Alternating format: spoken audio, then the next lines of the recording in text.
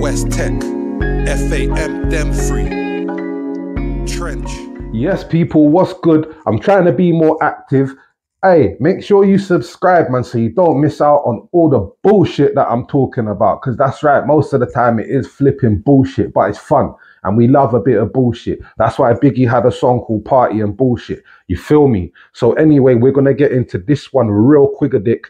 And it is uh, predictions and a card breakdown for Premier Battles, The Plug. Yeah, this one is in London on the Saturday, the 25th of February. Unfortunately, it's well, not unfortunately, fortunately, it's my birthday weekend, so I can't make it. And not only is it my birthday, but my, me and my daughter share the same birthday. So therefore, I can't just go out partying with the lads. Them, you get me? First battle: Cooper versus Mr. Tongue Twister. Not gonna lie, Cooper isn't my cup of tea. He's a decent battle rapper, not someone that I would like watch and be like, yeah, he's sick. I can get that he has got certain technical abilities and he can be rated as a decent battler, but he's definitely not my cup of tea. And I don't really think his style's um, matchable to Tongue Twisters. Tongue Twisters like quite sick, so I think Tongue Twisters gonna body that one easily. Um, the next battle is Sean Cray versus LS Dean.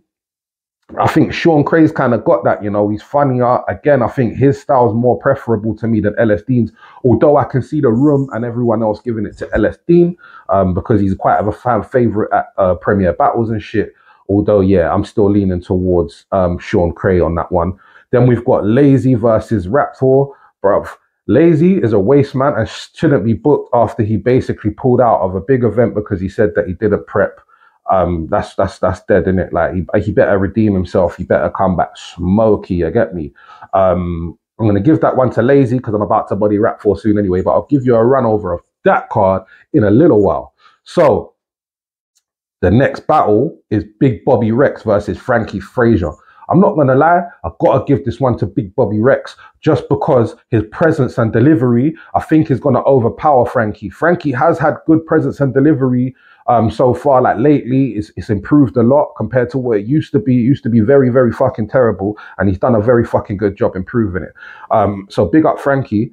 Um, but yeah, I think Bobby, like if Bobby picks the right angles and does Bobby, he's gonna do it because I think Frankie's gonna be focused on his writing, and I don't think that it's going to matter that much versus Bobby Rex unless you've got the big moments and the and the delivery and the projection and shit. You're just going to get overshadowed, in my opinion. So I'm giving that one to Bob. Then we got Gemini versus Koj. I'm not gonna lie to you, Koj is an ill battle rapper, but I do think Gemini is miles ahead in terms of his writing ability, the way he delivers, the way he comes across, his charisma as a battle rapper. I do think he's got that quite comfortably. But big up Koj because obviously I wouldn't just say that about anyone. That's Gemini, in it. Do you get what I'm saying? Um, and then on the top of the card, we got Shotty versus Shuffle, a similar, similar uh, um, feeling with this one. Shotty is gonna overpower Shuffle. Shuffle, I feel like Shotty can do what Shuffle does. Yeah, Shotty can do the funny, condescending, multis. He can do everything that Shuffle does. He could show up and dress like Shuffle and rap like Shuffle. Shotty's imitations are fucking sick, by the way. So he can actually do that. Shuffle, he can't do what Shotty does. And that's where the line is. Shuffle can't perform like Shotty. Shuffle can't give that gritty rap feeling like Shotty. Shuffle can't threaten Shotty or nothing like that, you know, with it being viable. So there is a difference of their abilities there, I think. And I think Shotty takes that edge for me. Again, Shuffle could win in other ways, but I just can't see it happening. I see Shotty overpowering that shit. So that's my predictions for the plug. Uh, Saturday, the 25th of February, this weekend at the Brixton Jam. You can get tickets from premierbattles.club, but I believe it's sold out. So don't even bother trying, fam. So then anyway, the next day, they're telling you, they're telling you, they're telling you, telling you, they're telling you to go over to the Amersham Arms for short circuit for a free entry. This one's actually on my birthday, so I wish I could have gone. But again, it's my daughter's birthday and we've got to do stuff, you get me?